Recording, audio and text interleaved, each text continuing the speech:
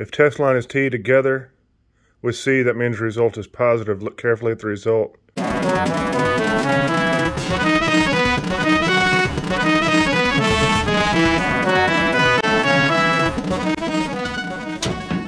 how you doing? I'm, uh, I'm about to... What the hell?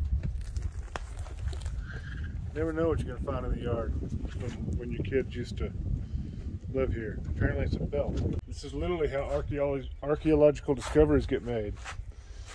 Rain happens, storm happens, dirt, soil moves.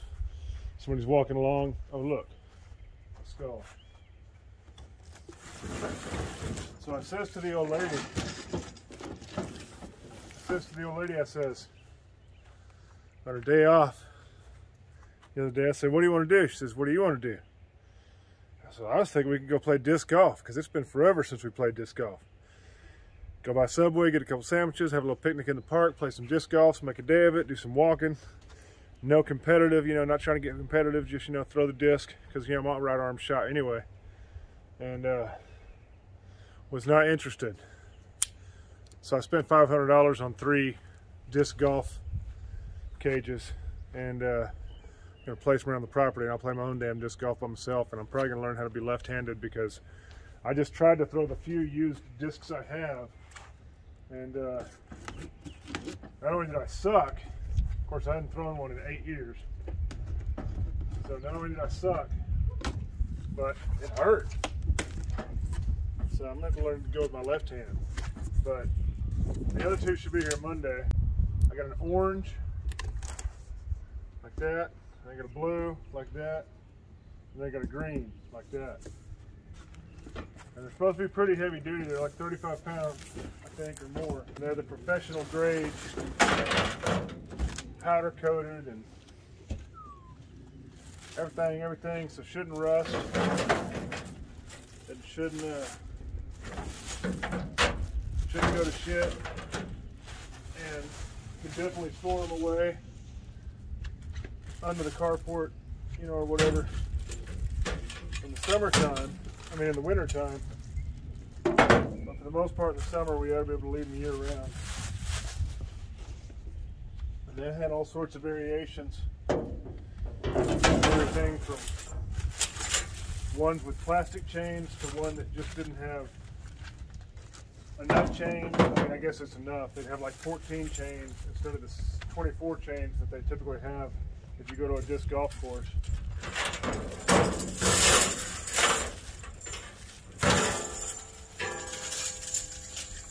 So hopefully this will be pretty straightforward. This thing put together in no time, we'll be able to shoot some shoot some links we will.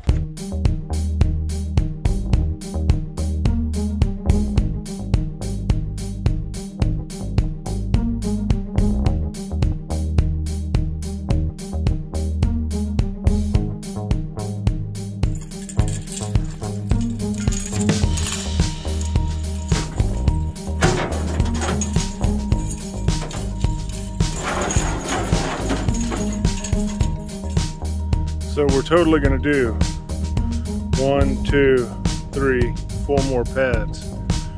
And then one of those I'm gonna leave mostly empty because that's gonna be the tee. It's gonna be the tee spot for this first shot.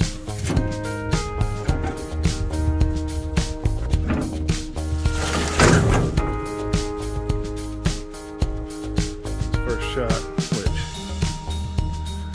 will be going down right there. Figure it's truly a par two, probably. If this is in the disc golf course, it'd be a par two. I'm gonna make it a par three. And, uh, I'm gonna go stake it down first.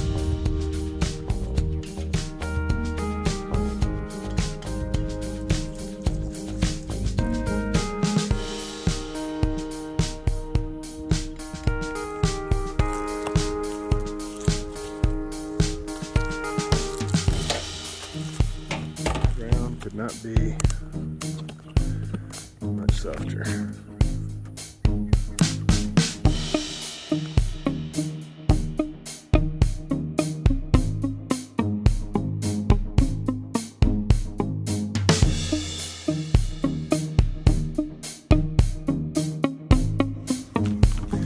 Yeah, get a good day out here and get my other set. And I'll uh,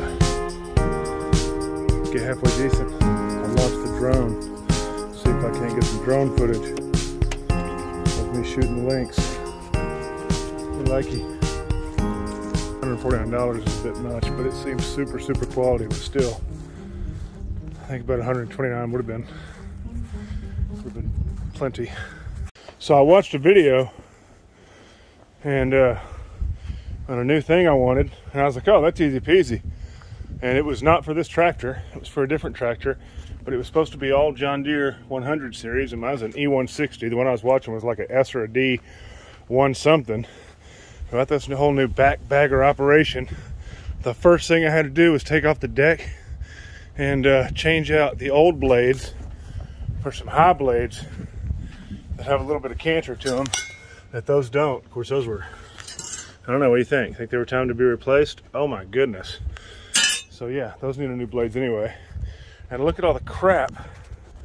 Can you even sant all the crap that I chiseled off the bottom of my deck? So it actually, it worked out. I needed to do all that stuff anyway. And now we can put on our new bagger. Now we can put our new bagger on. We'll be excited about that, we will. Hopefully it's not as work as these fucking deck blades were. Not as much work, rather. We'll see. Okay, not for nothing. Seems like some netting and a little bit of plastic and a few pieces of metal is uh, not $400 worth of material. And maybe if I, maybe if they came out and put it on, I don't know, maybe then. Um,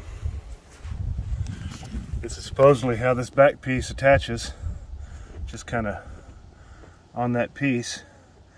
I'd probably like to drill a hole in that and actually have that going kind of through the top, coming up through the top of it, instead of on the side against the wheel. Not that the deck should be on the ground, really. So that's about where I mow with it right there. So I guess the deck's gonna be off the ground, so no big whoop really. And I guess it mostly still runs free. Oh, I'm totally covering the camera. Off the deck mostly. Wheel still runs free, apparently doesn't touch it really, but let's see how she picks up grass. I'm not even, I'm not even halfway full. Still not sure it's worth $400, but I don't know, they had a different version that it was a pull behind. Um, of course, it didn't occur to me that I totally have to take this off, or at least have to take the bags off if I'm gonna hook the trailer up. And the bags have got to come off. I mean, I guess technically they don't. No, they do, because this bag's in the way because it's kind of offset. And uh, yeah, it's offset to the right side since that's where the mower chute is. So yeah, the, the, the bag would, at least the left bag would have to come off. I was to pull the trailer. And I don't know, I guess the bags aren't going to be too heavy. That's not too bad. I woke up sniffly and coughing like a son of a gun this morning. Like nonstop, just coughing, dry cough. I'm like, oh well, I definitely got the coves. And uh, so luckily I ordered one of these at-home tests months ago when they first became available. Hell, this actually expires in like three months. And I did the test. Still got to wait for the time to complete. But right now, it looks like I'm definitely negative. Now, the other line could, the T line could come in, and that would mean I got a false positive or false negative or something, and I got to retest. If test line is T together with C, that means result is positive. Look carefully at the result. Huh. Yeah, so what, even if, uh, even if they're faint. And just T is an invalid result. Oh, so I gotta, I definitely gotta wait for the time. So I might be getting I don't see any other line yet, but uh, like I say, I gotta wait till the timer's over, but.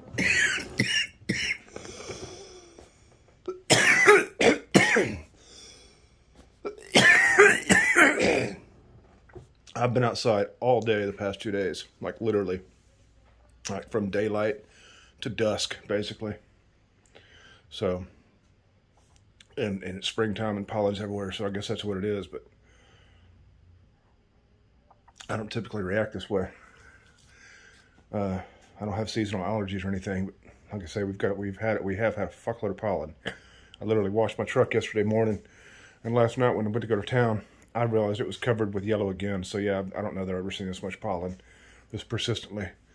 Um, uh, so hopefully that's all it is. But I mean, I'm boosted. I got both X. I got you know, got both doses in a booster, so I'm probably fine either way. But I don't like coughs. Still looking good. So what we got here is these guys are stringing cable, as you can probably see, which is supposedly going to support 5G. It's support cable that 5G fiber optic cable is going to wrap around. So that's fun. So this thing, man, I'm used to mowing on three. You can't mow past, I was cleaning it. You can't mow past the top one. And you gotta mow slow as hell, which is actually good for my back. But then literally one pass in the field from one fence line to the other fence line fills both bags.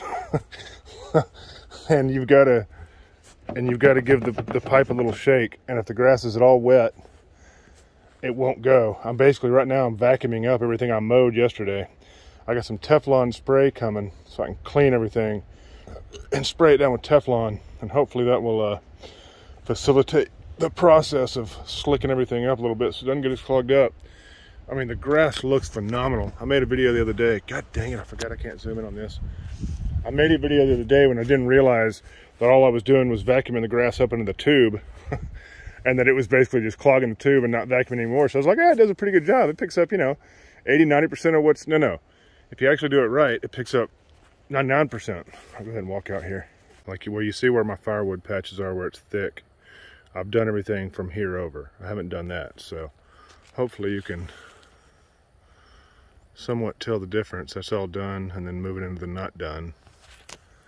I mean, but even like all this, can you even pick up all the, I don't know if you can pick up just all the loose grass here, like all these clumps is basically what I'm, what I'm raking. I'm mowing a little bit because it's been a few days since I mowed. So part of it's getting mowed, most of it's just getting raked. And uh, so yeah, you can see how clumpy this stuff is, right? You can see, and it just it just picks it all up real nice as long as you have it all the way high up and as long as you give the tube a little shake to facilitate the grass growing up, going up the. Uh, and again, if it's dry like this, it doesn't really have an issue. But if it's all green or wet, it wants to clump up. So I don't know. I'm kind of wishing I would have got the other the, they had another option I said on the video, which it was a pull behind trailer option with a little dump handle. And you just pull up your dump spot and dump it. I mean, I don't know how many laps that is in the field. 50? 100 for the whole property. So I'll be doing 50 bags minimum every time I mow.